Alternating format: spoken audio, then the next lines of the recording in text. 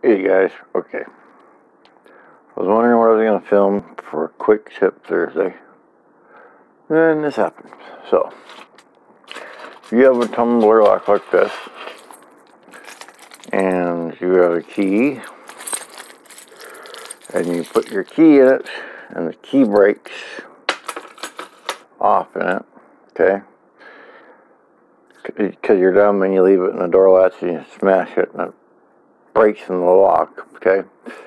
Um, if it's open, you can't get it, obviously can't get it out when it's open.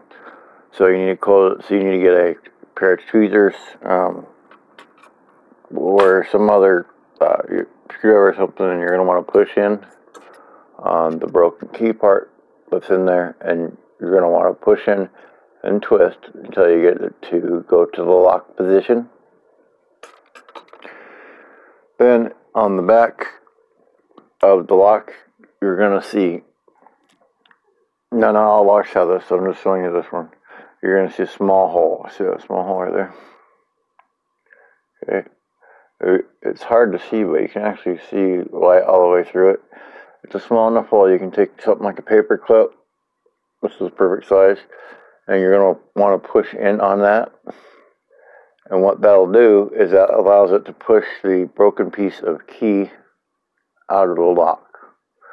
So they don't only give you, I guess they give you two keys for a couple of reasons. If you lose one or if you break one, but that's how you get it out. You don't have to throw away your tumbler lock just because you do that. But that's the uh, that's the uh, quick tip Thursday for you.